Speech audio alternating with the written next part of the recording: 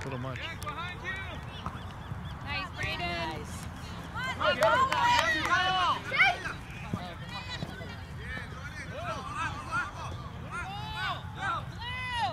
Nice.